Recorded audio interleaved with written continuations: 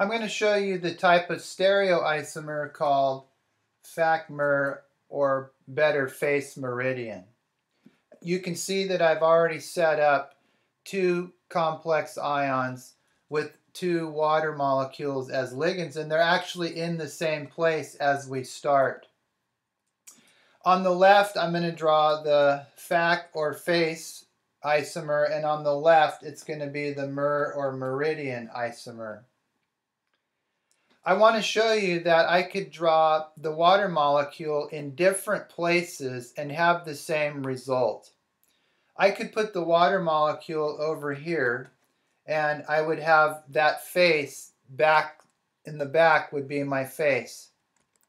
The other place I could draw the water molecule would be here and that's where I'll leave it. In this case, I need two water molecules that are trans or across from each other. So I could put a water molecule down here, it'd be across from this one, and my MER, my belt, would be right there. Or I could put it right here across from this water molecule. And you could see now that I have my meridian going like that. So if I connect these water molecules, you'll, say, you'll see that face emerge rather quickly.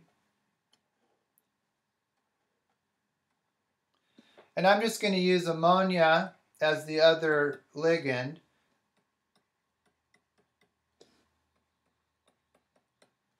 And that will be my other face.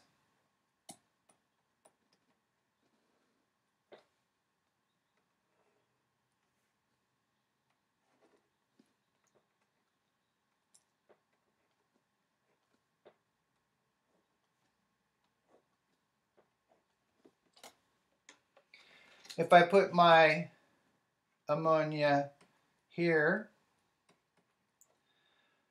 and here, I have two ammonias that are in the cis position. And if I put the third one over here, you'll see that I have two across. So in order for the MER, I need two that are across from each other.